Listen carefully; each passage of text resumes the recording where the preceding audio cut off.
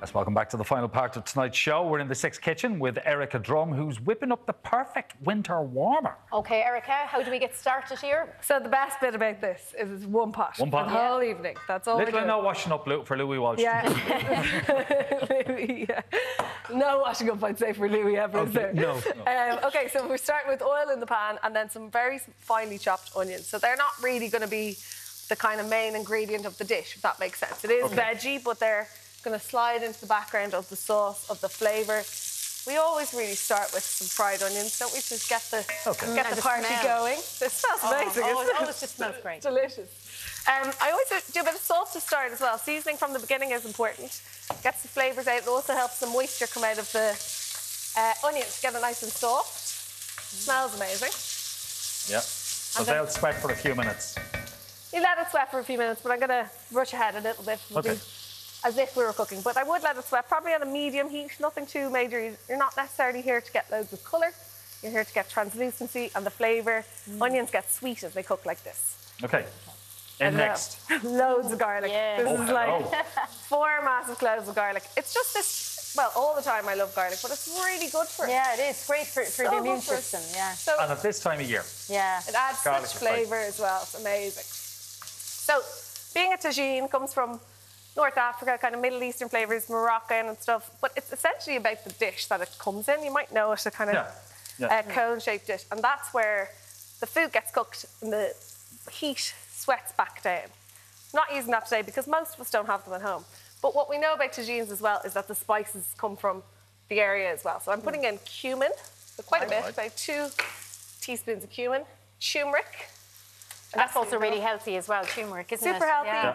And we're going to put black pepper Oh, actually yeah, to go with that turmeric is- turmeric. So good for you, and also gives this gorgeous bright yellow colour. I think days like the moment, you know, when the weather's kind of crap, the bright yellow is just lovely for. Yeah. And then that was ginger and also a little bit of cinnamon. So we might find Is that cinnamon. smoke going up your nose? That was good of yours. Not yet. Um, cinnamon's a little bit synonymous with Christmas and um, oh, yeah. Buns. sweet things, exactly. Yeah. But actually, in this cuisine, you- they have it in savoury. Oh, that's so All good. right. Smell it now. Yeah, yeah, yeah. Okay, so next thing going in, I'm going to get Louis to guess what this is, or tell me. What, I'm sure he does. What is it? Do you know what that is? Have you seen it before? Have a smell. No, No? idea. What about is it? Una? What is it? Oh, let's have a look. She'll know. She knows everything. Let's have a look. Oh, that's strange. So it's called saffron. It comes Oh, from the saffron. crocus okay, flower. no, I didn't know what it Okay. was. Tiny little strands. Yeah. and I've just put them in boiling water earlier on just to kind of accelerate their flavour and bring it out. So I'm just putting that in as well. Smells are good, guys. What do you think? Yeah. Very good. Smells Okay. good. Yeah. We're going to bring down the heat a little bit. Oh, you can really get that, that aroma. Saffron, mm, smell this. Yeah. Okay. It's, it's an unusual smell, isn't it? What is that? Saffron. So Oh, that's the saffron. Yeah. It's, it's supposed to be more expensive than gold in weight. Oh, Uh, yeah, yeah. because it's really that tiny little thing was a five euro. Now that's not Really? crazy Yeah. money, but No, for the it's- weight what it is. Okay, so you've added veg now. So this is this is where I was bringing in the butternut squash or the pumpkin or whatever. You know, at the moment I know we've all we're probably sick of pumpkins, but if you do have one and it's still okay, Yeah. you know, some of us might have carved them three weeks ago. Everyone was a bit excited, which is fine. But if there's some that are okay, they can go in here. Um, I've put some spuds in. You could put in parsnip. I'm going with veg that all cook kind of in or around the same time Right. as in they'll all, you know, some of them will get a bit softer, but that's okay. It creates a sauce. So this is stock, just veggie stock. You could use chicken stock there if you wanted. You could also put some meat in here if you wanted. This is a veggie version, but you could put some, you know, chunks of chicken or um, some lamb would be quite uh, popular with a tagine. So you can see it's a little bit watery, but that's exactly what we want. It will reduce then. It's going to bubble up, and I'll just tell you what we do so I can start to plate it up so you can have a taste. But Okay. Dates, also very much Moroccan and Middle Eastern, they go in on top. I've just taken the stone out. These are called preserved lemons. They've been aged with salt. Maybe a little bit harder to get. Probably the bigger supermarkets would have them. Um, but they make a difference. They kind of give this tang to the back of your mouth. They're really nice in Oh, there. right. If you don't have them, that's okay. I definitely recommend putting a little bit of lemon at the end. Okay. Last one is chickpeas. Guys, all in here. How easy is it? And it's like, Chickpeas are a great way to bulk up a curry, aren't they? Yeah, and they're so healthy as well. They're like So you know, they'd be your meat protein. substitute. Well, Yeah. yeah, I suppose. Bit of, yeah, no, a bit of a protein. That's your your protein. Louis like, is my steak going on the side or? so that's it, guys. I have my lid there. Oh. And I would essentially let that come up to the boil and pop the lid on for about 25 minutes. Not much longer, because actually some of them get too soft. So, Yeah. Right. so you'll see now, you want it to be soft, but um, you don't want it entirely mushy. Yeah, you don't want mash.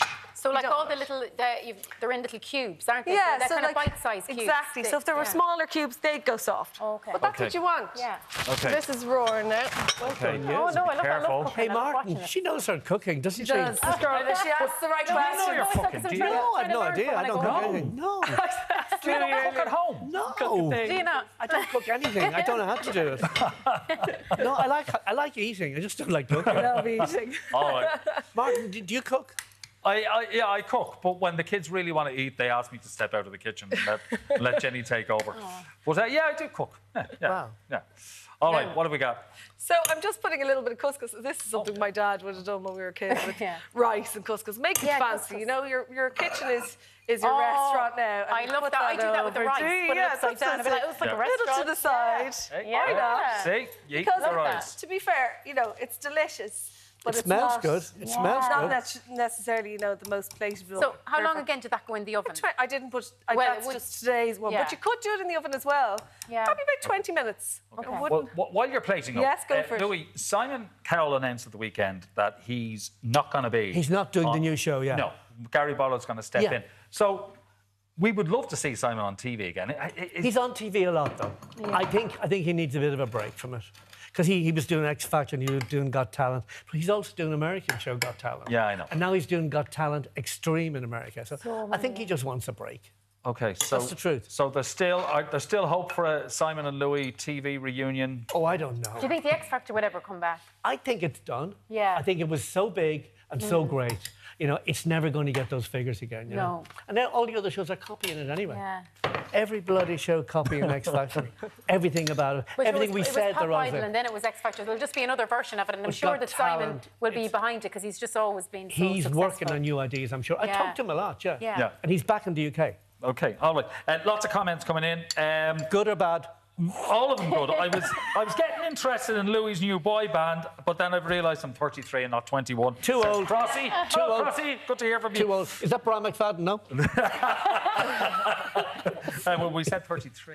oh, yeah. Not for you. Okay. All right. Uh, Dave texted in Louis is an entertainment genius, and I can't wait to see what he does with the next big thing. I hope I get something good. You know, it's hit and miss. We live in hope. Yeah, they Dinner is served, Oh, guys. at. About time we got the food. Uh, don't forget uh, auditions. Get them to Louis. Louis. Auditions at louiswalsh.com. Okay. By November the 12th. Westlife Friday on sale. Hurry up. That's it for tonight's show. A huge thank you to all our guests for joining us, to the lovely Erica, and of course to yourself, Louis. Okay, and thank you, Una Healy, for oh. looking after us for the last couple of weeks.